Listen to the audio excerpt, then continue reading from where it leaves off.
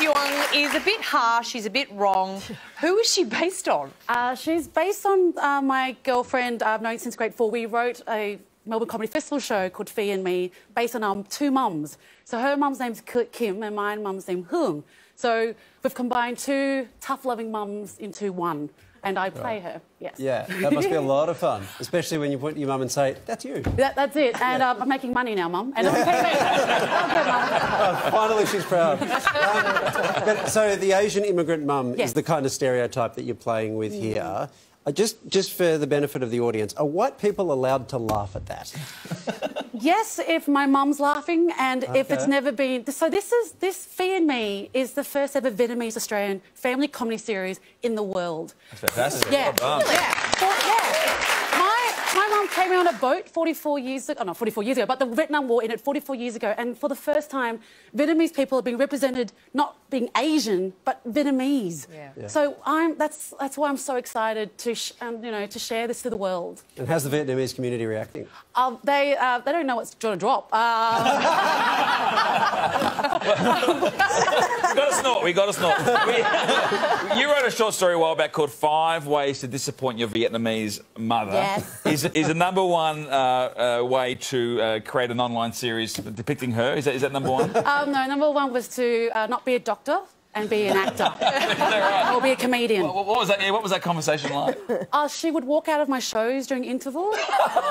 yeah, twice. High school production, university production, would walk out, and it took about like a good eight years for me to heal from that.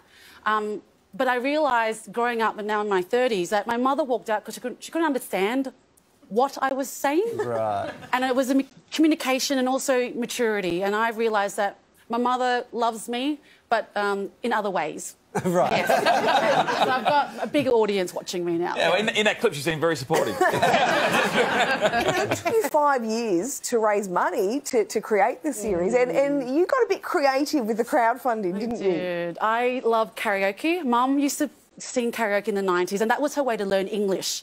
Oh, right. Yeah, so, you know, you have the subtitles come on. So, uh, for the crowd fund, uh, so I raised $27,000, and one night I put on Facebook Live and sung for four hours straight, getting requests from people, a karaoke-thon, and made $4,000. Look at you. Yeah.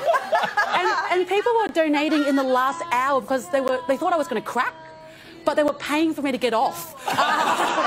Did you have a strategy with the songs that you pick, like longer songs and ballads to try and stretch the time out? Um, also, the funny thing, Disney. People are requesting Disney songs. Uh, yeah, Let It Go, uh, Moana. Yeah, yeah like, the oldies were requesting all these 90 songs that yeah. we don't hear on the radio anymore, so it was lovely. You maybe could sing us out with a bit of Let It Go in Vietnamese oh, if you oh, like. yeah. because I was in Miss Saigon, I was in Miss Saigon too, so yeah. Is that right? Mm-hmm. yes. Do you know what? If you're not going to do your cage match, I don't think you can challenge her to sing on air. Using the national anthem before the cage match, me and John Burgess. Oh, yeah. okay. Done. Now we're down. Mm. well, you can check out Phi and Me online from Sunday. The link is on our website. Would you please thank Diana Nguyen?